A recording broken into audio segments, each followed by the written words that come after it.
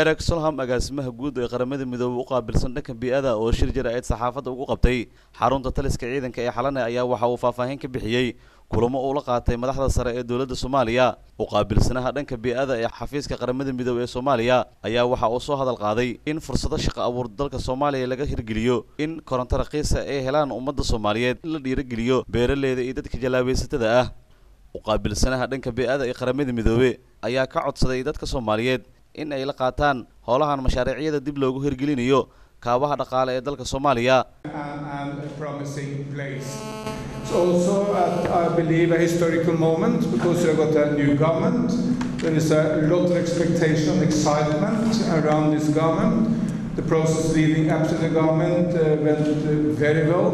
Government is accepted by everyone in Somalia and abroad. So it's a huge opportunity for the international community, led by Michael, but uh, by all of us, to really take the lead of the government, support the government towards peace and stability in, uh, in Somalia, and of course towards social and economic progress. And these are very much linked. The more social and economic progress, the more peaceful situation will be. And creating peace will also make it much easier for people to invest and to go out uh, along with their lives. So again, it's a, uh, Somalia is such a promising place. There's so many opportunities.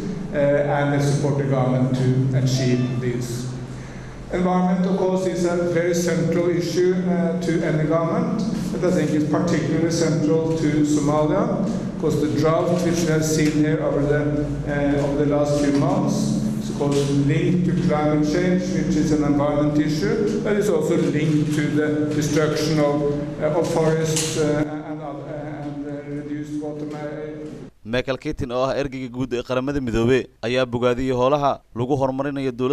ah system as well as uh, as a minister for his own government uh, Norway.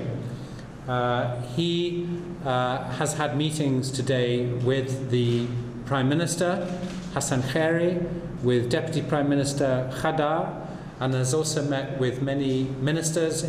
cabdirashiid sandheere telefishinka caalamiga iyo star t v muqdisho.